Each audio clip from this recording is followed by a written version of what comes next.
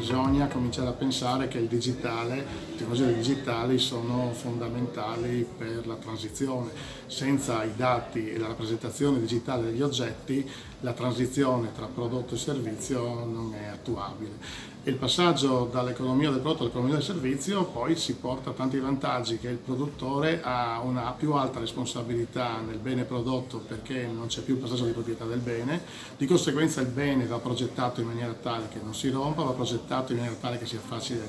recuperarlo o riaggiustarlo ed è anche progettato in maniera tale che alla fine vita il prodotto possa rientrare nel circuito produttivo senza creare inquinamento e si entra automaticamente in economia circolare per cui la digitalizzazione spinge alla digitalizzazione, alla digitalizzazione significa